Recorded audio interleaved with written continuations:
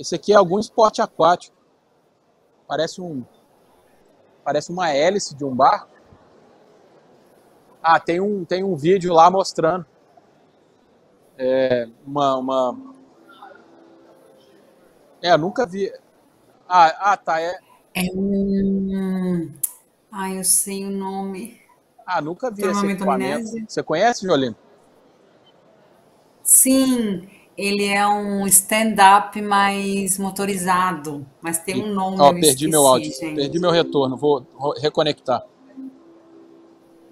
É o tipo de um sta- stand-up mais motorizado, assim, que você não precisa fazer os movimentos de surf e você fica aí só curtindo. Tem um nome, Brasil tem um nome, mas eu esqueci. Mas é bem bacana. Eu não sabia que estava na feira. Ah, acho que a feira agora. O Yuri falou que ele tá. Peraí, vamos pegar aqui o mapa. Ele tá no 10.3, né? São produtos, são produtos de esporte, viagem e lazer. Nossa, isso. Quem vai na feira, em propósito da feira, essa área, reserva um, uma horinha, umas duas horinhas para caminhar. É muita novidade. Esse é um dos setores que você vê mais tecnologia, assim. Coisas de último, último lançamento. Eu lembro aquela vez na feira, eu estava na, que- eu tava na feira, acho que 2000 e, 2014, 15, e tinha aquele aparelho que tu anda subindo escada, sabe? O Brasil não tinha ainda. Eu mandei um vídeo aquela vez, a pessoa falou, nossa, que legal. E hoje já é uma normalidade nas academias, né? Então isso também ali, ó. Ah, É, é o tipo de... é, recuperei meu áudio.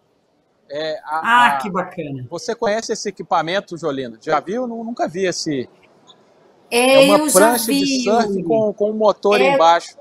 Isso, é tipo de um stand-up, mas é motorizado. Tem um nome próprio, mas eu com Motorizado. meu, meu- eu estou com os meus minutos de amnésia, não lembro. Je- Jet Como surf. é que é? Hum, Ah, tá. nossa produção, ela é incrível. Jet surf. É, eu não conhecia não, mas tá aí, jet surf. É, aqui, aqui ao lado, esteira, né, para academia, stand de esteira, quem quer montar uma academia, muita esteira aqui, opção. Outro stand com um monte de anilha, é, peso para academia, Nossa, bicicleta. muita coisa.